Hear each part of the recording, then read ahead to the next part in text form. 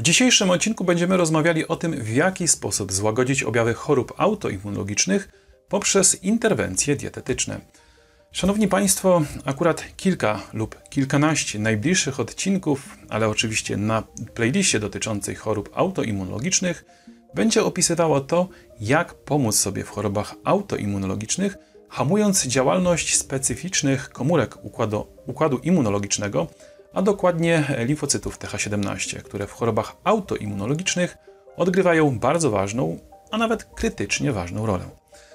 Nie będę dokładnie tłumaczył, co to są za limfocyty, jak działają i dlaczego związane są z chorobami autoimmunologicznymi, bo podejrzewam, że w większości widzów to po prostu nie interesuje.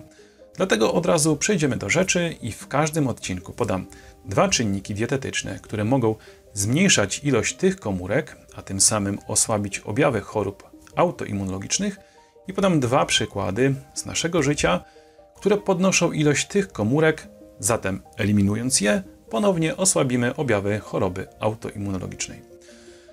I woli ścisłości, e, odcinek ten adekwatny jest do wszystkich chorób autoimmunologicznych, czyli dla choroby Hashimoto, tocznia, cukrzycy typu pierwszego, reumatoidalnego zapalenia stawów, fibromialgii, czy na przykład łuszczycy i wielu, wielu innych, których ze względu na oszczędność czasu nie będę tutaj recytował.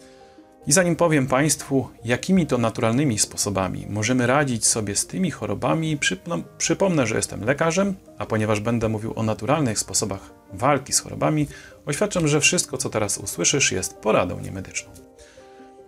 Pierwsza i najważniejsza rzecz, aby zmniejszyć ilość limfocytów TH17, należy absolutnie ograniczyć spożywanie produktów smażonych, ponieważ produkty smażone są źródłami tak zwanych oksysteroli, czyli steroli utlenionych. A sterole mogą być pochodzenia zarówno zwierzęcego, jak i roślinnego. Utlenione sterole, które powstają podczas smażenia, mogą w organizmie powodować różnicowanie się komórek TH17, a to może wzmagać objawy choroby autoimmunologicznej. Zobaczmy dowód. Badanie z 19 sierpnia 2014 roku. Oksysterole są ligandami agonistycznymi receptora ROR i powodują różnicowanie komórek TH17. Tutaj przy oksysterolach oraz wpływie na choroby autoimmunologiczne chciałbym bardzo krótko dać jeszcze, że oksysterole powstają także w wyniku palenia tytoniu, więc smażenie produktów spożywczych, a także palenie tytoniu będzie zwiększało ilość komórek układu immunologicznego, które będą pogarszały objawy chorób autoimmunologicznych. Jakie jest rozwiązanie? Zamiast smażyć, zacznij gotować. Zamiast palić papierosy, pieniądze te przeznacz na cele charytatywne, na przykład. Drugi element to nadmiar jodu. Ja wczoraj już mówiłem kilka słów na temat tego, jak samowolne posługiwanie się preparatami z zawartością jodu może Państwu bardziej zaszkodzić niż pomóc. Choć przykładów dotyczących nadmiaru jodu i chorób autoimmunologicznych jest bardzo wiele, to ja powrócę do tematu najbardziej ciekawego. Oto te dane. Badanie z grudnia 2013 roku. Komórki TH17 odgrywają rolę w patogenezie zapalenia tarczycy Hashimoto u pacjentów. W treści czytamy: Te odkrycia sugerują, że zarówno komórki TH1, jak i TH17 mogą być zaangażowane w patogenezę choroby Hashimoto, a wysoki poziom jodu może odgrywać kluczową rolę w tym procesie poprzez modulowanie różnicowania komórek T. No dobrze, powiedzieliśmy o dwóch czynnikach, które mogą zwiększać ilość tych komórek, a tym samym objawy chorób autoimmunologicznych.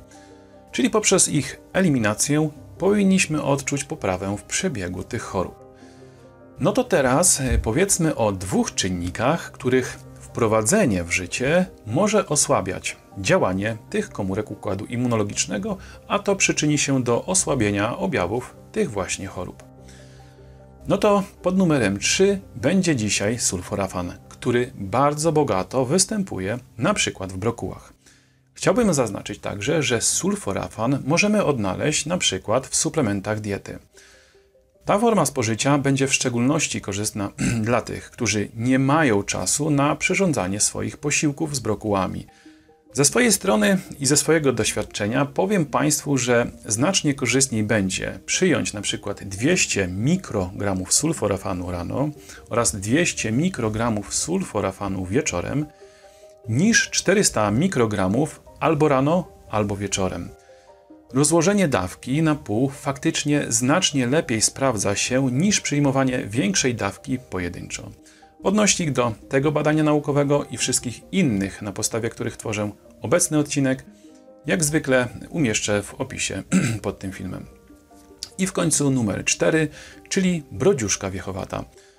Brodziuszka wiechowata to kolejna roślina, która może zmniejszać ilość limfocytów TH17 już na samym początku drogi ich różnicowania.